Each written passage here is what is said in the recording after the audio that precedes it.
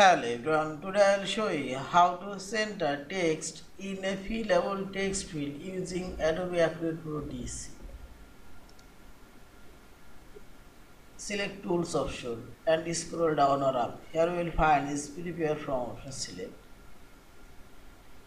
Now select text box icon. Firstly will do a new text box and right click for properties and appearance option. You can add border. Allow black border.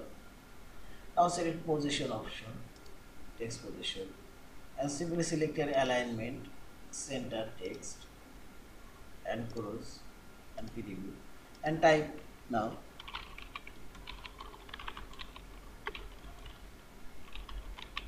See this center alignment already working.